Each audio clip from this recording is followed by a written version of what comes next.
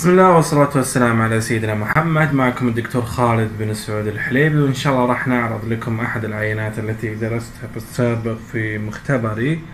طبعا هذه أحد العينات التي درستها في السابق عينة متحجرة ترجع إلى فصيلة من فصائل آه، الاسفنجيات البحرية وأيضا ترجع إلى آه، آه، مخلوقات تعيش في سريلانكا. طبعا هذه العينة أخذتها من سريلانكا في رحلة بحثية مثل ما تلاحظون. هذه العينة طبعا متحجرة حصل لها استبدال للخلايا ذرات آه، المعادن الجارية أو المعادن المتواجدة في البحار. مثل ما تلاحظون هذا شكلها عمرها لا يقل عن يعني ثمانين ألف سنة. من أجمل العينات التي درستها يعني اكتشفت أنواع من يعني الطفيليات والميكروبات المتواجدة فيها.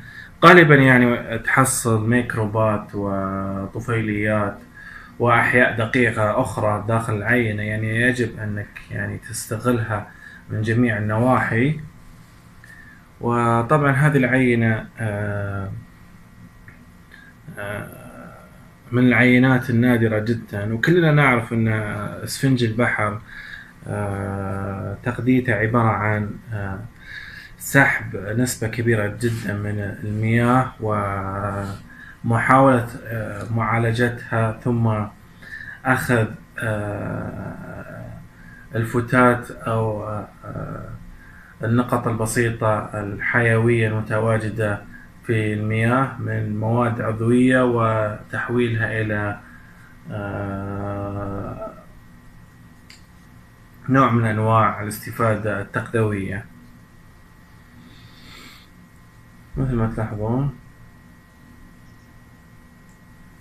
أنا أدعو يعني الباحثين من عشاق آه، يعني دراسة الحفريات المتحجرة بدراسة المخلوقات البحرية المتحجرة لأن راح تلقون بنسب كبيرة جدا مخلوقات بحرية متحجرة.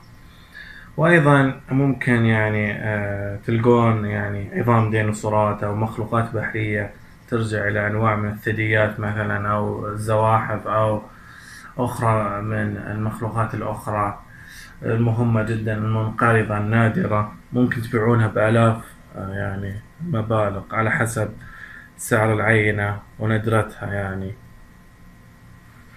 إلى هنا انتهى الدرس. كان معكم الدكتور خالد بن سعود الحليبي وإن شاء الله نشوفكم في درس قادم.